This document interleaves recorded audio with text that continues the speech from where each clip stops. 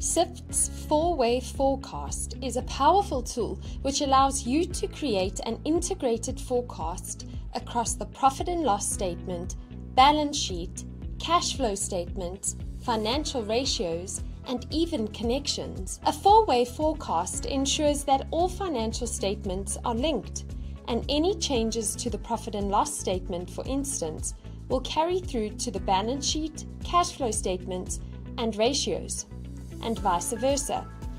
Not only does this tool create integrated forecasts, but it goes beyond numbers, allowing businesses to include their business plans and expectations in the forecast. This tool is incredibly useful in cases such as a loan application, in which the bank requests forecasted financials. Here, Syft's four way forecast will create a forecasted profit and loss statement, balance sheet, and cash flow statements, which all link up with one another. So you can go and download this forecast and send it off to the bank. Overall, the four way forecast from Syft empowers accountants and businesses to create robust, transparent, and integrated forecasts, catering to the needs of management teams, clients, investors, and financial institutions.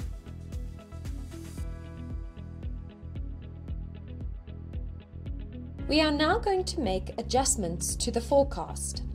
So, forecasting adjustments are things that you can expect to happen in the future which will impact your financial position. There are an infinite number of options for forecasting adjustments. However, any adjustment you make should be specific to your business, your business plans, and expectations. A typical example of a plans include hiring a new team member, or introducing a new product, or even buying a new vehicle.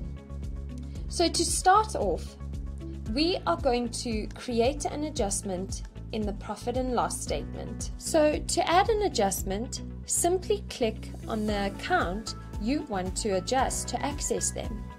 Now, you are able to create once off adjustments as well as recurring adjustments.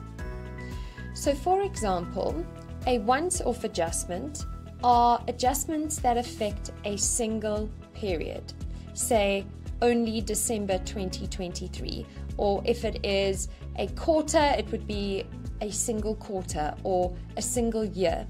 Now, you can make these adjustments by clicking either Add Adjustment or alternatively, you can edit any figure directly on the financial statement.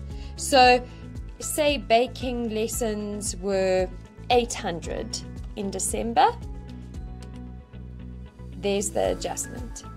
Now, this adjustment has only been made for December. However, if we would like it to be a recurring adjustment, you can click this arrow and then you will be taken to this add adjustment box. As you can see, the account that we want to adjust has already been selected. Then you are able to add a description to it.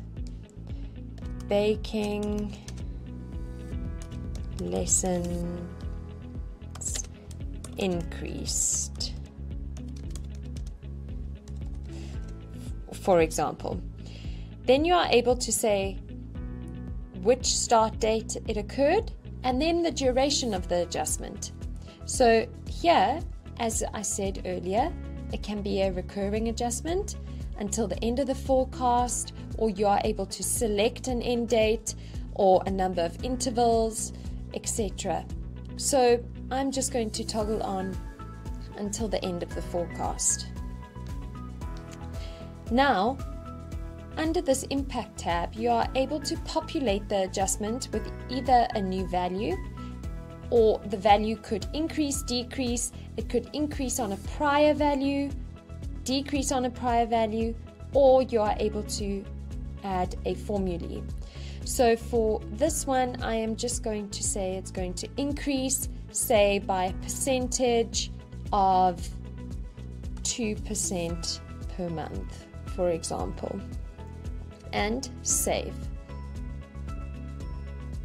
So once you have created an adjustment, it will be displayed in the account in question. So as you can see, there's an adjustment there and the adjustment there. So you will be able to identify it by the set of up and down arrows next to the account. Over here.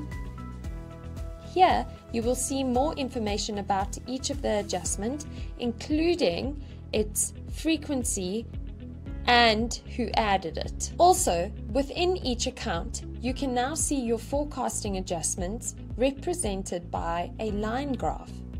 You can then drill down into the details for each category and click on any points along the graph to see their values.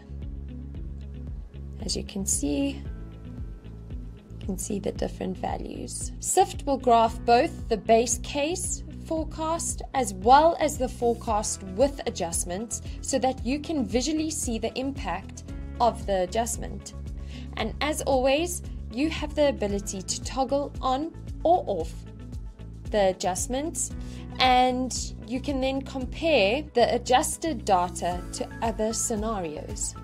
Adjustments are also useful if you choose to export the forecast to PDF, as it serves as a trail of forecasting changes that your team, your clients, investors, or even your bank can read through. Always remember to save.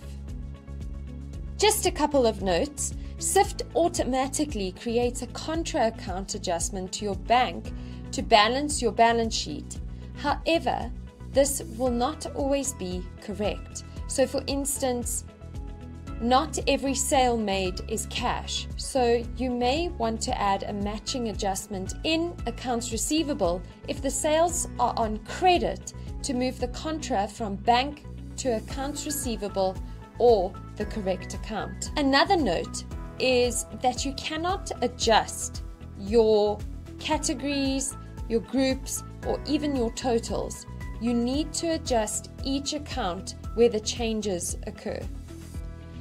And just remember any change in the profit and loss will pull through to your balance sheet, to your cash flow statements, etc. That is the beauty of Syft.